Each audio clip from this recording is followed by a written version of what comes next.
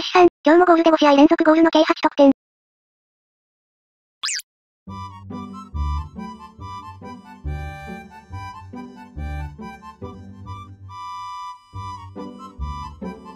いつもの。なんだ神か。シャープ今日の神。神の正常運転。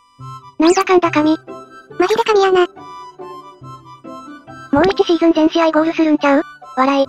メッシだけしか入らんかったらここまで強くはなかったろうけど、やっぱブスケツがでかいんやろな。ブスケツがでかすぎる。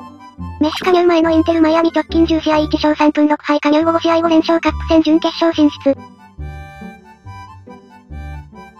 メッシが楽しそうにサッカーやってていいな。毎日サッカーに関する情報を発信しています。ぜひチャンネル登録と高評価よろしくお願いします。